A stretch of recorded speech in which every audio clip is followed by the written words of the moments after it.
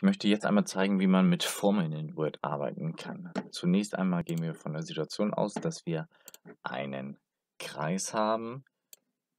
Ich zeichne den mal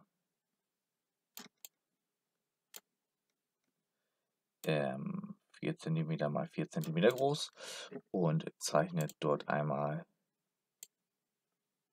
den Radius ein.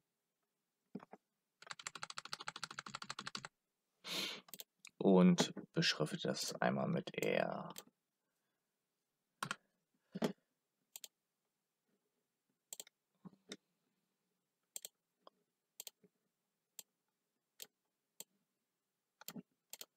Das Ganze kann ich dann auch gruppieren.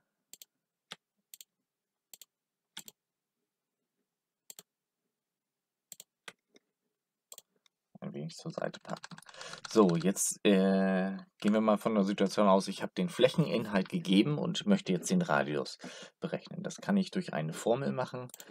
Und zwar mache ich mir dazu ein Textfeld. Das, äh, da stelle ich die Kontur auf ähm, keine Kontur. Und jetzt kann ich hier einmal eine Formel einfügen. Und um die Formel aufzuschreiben, nehme ich einmal eine Matrix eine 3x3 Matrix, die erweitere ich jetzt. Und zwar äh, um eine Spalte danach. Und jetzt kann ich anfangen und schreiben, der Flächeninhalt a ist gleich, und jetzt brauche ich einmal Pi.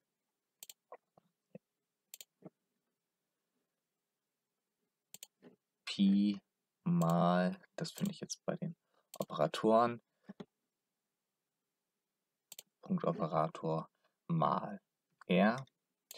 Und jetzt möchte ich diese Formel umstellen und sage jetzt, ähm, nehme ich zuerst einmal einen Strich, also Alt-Gr und diesen Strich ähm, und sage jetzt, jetzt teile ich durch Pi.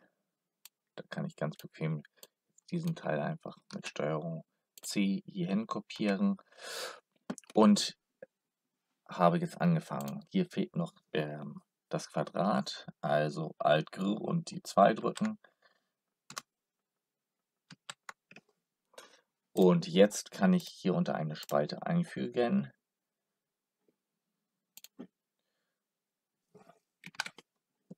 Eine Zeile einfügen, meine ich natürlich.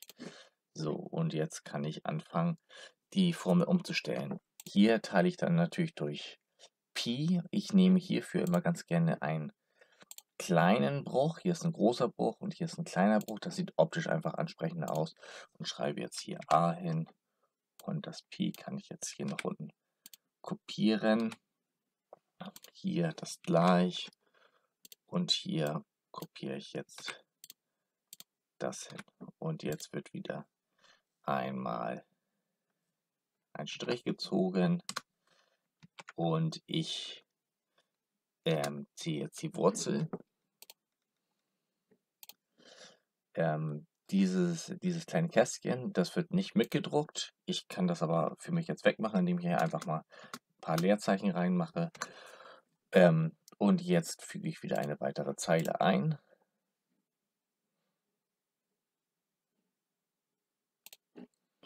Und jetzt kann ich hier ähm, einmal die Wurzel aufschreiben. Das, diesen kleinen Bruch kann ich kopieren, Steuerung C und einfügen. Gleich und hier R. Hier vorne kann ich wieder ein paar Leerzeichen hinmachen, dann erscheint das Kästchen nicht. Und dann wieder eine Zeile einfügen.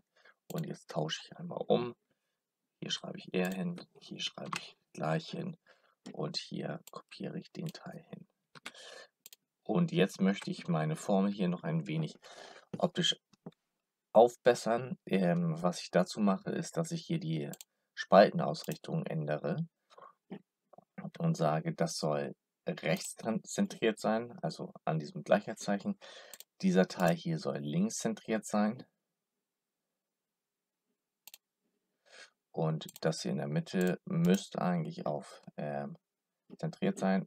Genau, und diesen Teil hier, falls ich mal mehr hinschreiben will, ähm, möchte ich das auch äh, untereinander ausgerichtet haben. Deswegen sage ich hier auch Spaltenausrichtung auf links zentriert. Hier kann ich wieder ein paar Leerzeichen hinmachen. Und was ich jetzt noch machen möchte, ist ähm, hier diese Abstände ein bisschen anzugleichen. Dazu gehe ich jetzt hier auf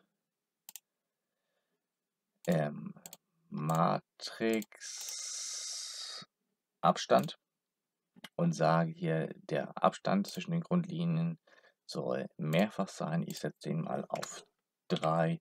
Das hat sich bewährt. Das sieht ganz ansprechend aus. Und gehe jetzt auf OK. Und jetzt kann ich die einzelnen Schritte ein bisschen besser voneinander unterscheiden. Und jetzt könnte ich auch noch die Schriftart ändern. Ähm, ich kann hier das Ganze markieren und bei Formeln kann ich sagen, das soll in einen Text umgewandelt werden. Ähm, und dann kann ich bei Start hier auch eine andere Schriftart ähm, einstellen. Das finde ich äh, ungünstig, weil wenn ich hier jetzt noch was weiteres ergänze, dann ist das leider nicht in der Schriftart, sondern in Cambria Mars wieder. Ähm, also halte ich das immer so, dass ich das, äh, dass ich die gesamte Formel so belasse in Cambria Mars und dann hier vielleicht in der Zeichnung das dann noch anpasse und hier dann Cambria Mars einstelle. Das ist leider ein bisschen ungünstig von, von Word gestaltet. Wenn ich jetzt hier auf Formeln gehe, dann kann ich hier äh, bei den Einstellungen äh, die Standardschriftart sehen. Ich kann sie allerdings nicht ändern. Das bleibt immer Cambria Math und dann muss ich halt immer diesen, über diesen Umweg gehen, hier das als Text zu formatieren. Ähm, das birgt dann ein paar Probleme, weil, er, weil man im Nachhinein dann nicht so gut nachbessern kann. Also vielleicht da dann auf Cambria Math eingestellt lassen.